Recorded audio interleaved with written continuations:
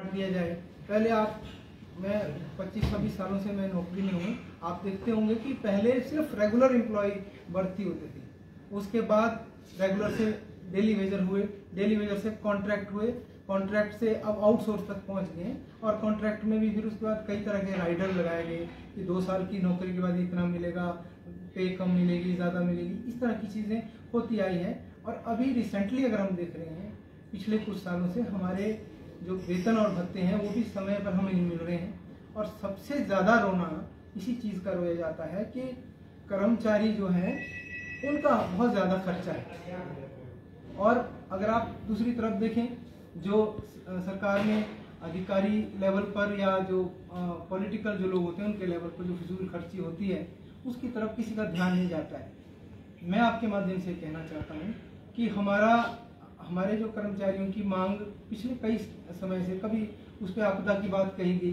पिछली सरकार ने ये कहा कि हमारे पास पैसा नहीं है, फिर टुकड़े टुकड़े करके हमारा एरिया दिया गया तो इसको लेकर कर्मचारियों में चुप्पी सी बनी हुई है और अभी तो ये तो इतिहास में पहली बार हुआ है कि जब कर्मचारी डीए की आपके माध्यम से भी खबर आ रही कि डीए हमें मिलेगा, जो हमारा ड्यू है तो इस बार वो भी, उस पर भी सरकार ने कुछ हमें नहीं कहा है।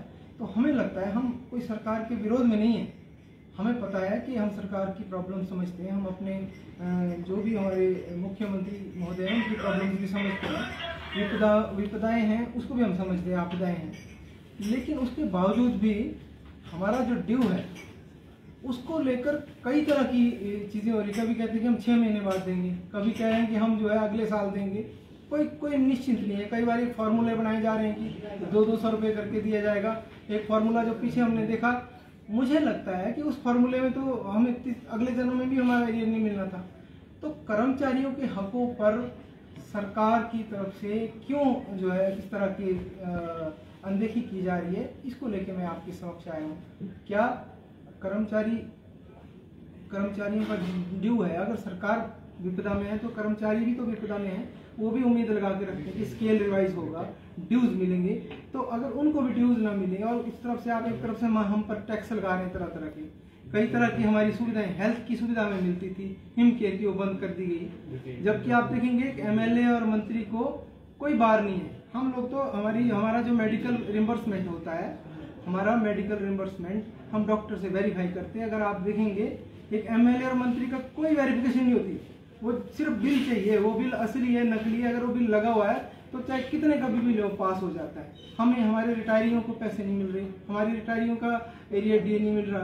तो ऐसी ऐसी चीज़ें काफ़ी समय से चल रही है और हमारे कर्मचारियों के जो भी संगठन है, वो या तो टुकड़ों में बंटे हुए हमें तो ये नहीं पता कि कौन सा इसमें भी कोई गुट होना चाहिए या कोई राजनीति का इसको बना दिया है। तो मैं अपील करने आया हूँ कि कर्मचारियों को सरकार के समक्ष एक आवाज़ में इकट्ठे होकर बात करनी चाहिए कि अगर सरकार को कोई समस्या है तो हमारे साथ डिस्कस करें। मैं आपको ये सबसे पहले ये बात कहना चाहता हूँ कि अभी अभी हिमाचल प्रदेश सचिवालय जो सेवाएँ का जो एसोसिएशन है, उन्होंने सबसे पहले आवाज़ उठाई है डीए की। आज तक कोई कर्मचारी संगठन नहीं बोला।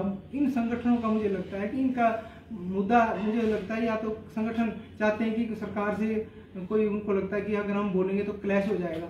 देखिए हम अपनी मांगे सरकार हमारा एक तरह से हमारा हमारी माँ है। हम उनके समक्ष अपनी मांगे रख, रखने का हमें हक है। हम उनका विरोध नहीं कर रहे हैं। लेकिन अगर हम डर के बोलेंगे नहीं तो हमारे हकों की बात जो है हुक्मरानों तक या जो भी हमारे नेता हैं उन तक कैसे पहुंचेगी? तो सचिवालय कर्मचारी के जो अध्यक्ष है, संजीव जी, मैं हमारे संगठन की ओर से उनका बहुत आभार व्यक्त करता हूँ कि उन्होंने हमारे कर्मचारी की आवाज़ें उठाई और मैं उनको खुला समर्थन देना चाहता हूँ कि हमारा संगठन उनके साथ कंधे से कंधा मिलाकर है और मैं ये अपील भी करता हूँ संजीव जी को भी और बाकी कर्मचारियों की कम से कम हम जो शिमला में हमारे डिफरेंट डिपार्टमेंट है, उनके स्टेट कार्यकारिणी शिमला में हम एक साझा मोर्चा बनाएँ, इकट्ठे होकर मुख्यमंत्री महोदय के पास जाएँ और अपनी प्रॉब्लम्स उनको बताएँ। मुझे नहीं लगता कि वो हमारी प्रॉब्लम्स को नहीं सुनेंगे।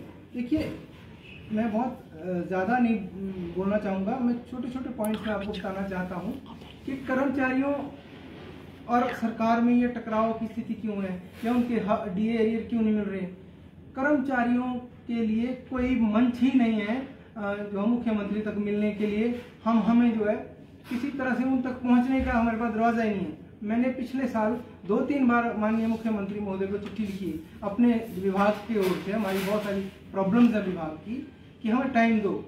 पहले मुख्यमंत्री महोदय को एसोसिएशन का की चिट्ठी जाती थी, बड़े मान सम्मान से कर्मचारियों को बुलाया जाता था। आज की डेट में कोई जेसीसी नहीं, कोई हमारे पास एक मंच होता था जेसीसी पहले मैं उन्नीस सौ नब्बे से पहले की जब मैं बात करता हूँ तो साल में एटलीस्ट तीन जेसीसी होती थी। अब जो दो साल में एक जेसीसी भी नहीं होती है जब तक संवाद सरकार के साथ हमारा नहीं होगा, हमारी प्रॉब्लम्स का कोई पता नहीं लगेगा और इसी तरह हमारे हमारे वेतन भत्ते जो है रोक दिए जाएँगे। तो मैं आपके माध्यम से कहना चाहता हूँ कि हिमाचल प्रदेश सरकार से हमारा निवेदन है कि हमारे जो वेतन भत्ते हो तुरंत लागू किए जाएँ और या हमारे से संवाद करें कि क्या, किस तरह की समस्या आ रही है और सरकार की क्या मंशा हमारे वेतन की तरफ़ है। हमारे, हमारा जो वेतन है, आज की डेट में 12 परसेंट डी हमारा ड्यू हो गया है। तो वो कब तक हमें अदा किया जाएगा? और ये तो पहली बार हुआ है कि डी हमें मिला है। डीए का जो एरियर है, अभी रिसेंटली हमें जो डीए दिया गया तीन परसेंट। तीन परसेंट ही है ना? चार परसेंट डीए दिया गया है। उसके एरियर की कोई बात नहीं हुई। तो ऐसे लग रहा कि साइलेंटली एरियर वो गायब हो जाएगा। तो एरियर कब दिया जाएगा? एरियर का उसकी घोषणा नहीं की जो तीन चार महीने का गैप उसका रहता था। वो एरियर का कोई पता नहीं है। ऐसे ही जो हमारा पे रिवीजन का है पिछली सरकार ने पचास हज़ार रुपये हमें दिए। अब हम बोलेंगे पिछली सरकार ने तो दिया ये पचास हज़ार दे के कोई हम पे कोई आसान नहीं किया। हमारी हमारे ड्यूज थे। अगर आपकी सरकार नहीं चल रही है तो हमारे परिवार भी नहीं चल रहे हैं। आप उस उस तरह से भी देखिए कर्मचारियों की कोई समस्या है। तो हम आ, सरकार से आपके माध्यम से निवेदन करना चाहते हैं कि अगर सचिवालय, सेवा संगठन या कोई भी संगठन आगे आता है तो हम उनका साथ देने को तैयार हैं। और अगर वो, कोई भी संगठन नहीं आता तो हम एक छोटा सा संगठन होते हुए होने के बावजूद भी सरकार से अपनी मांगों को लेकर उनके समक्ष जो है, हम जाएँगे। और हम ये आग्रह करते हैं आपके माध्यम से कि माननीय मुख्यमंत्री महोदय, कृपया आप हमारी बातें भी सुनें। हमारी समस्या भी सुने। और आप हमें अपनी समस्याएँ बताएँ कि हमारी, हमारे ड्यूज हमें क्यों मिल रहे हैं? तो मुझे, और दूसरा मुझे ये लग रहा है कि या तो जो हमारे जो आला नेता है, वो जो हमारी ब्यूरोक्रेसी है, जो बड़े बड़े अधिकारी है आई एस अफसर हैं, उनको घुमा रहे हैं कि कर्मचारियों के कट लगा दो। आप देखिए, सारी योजना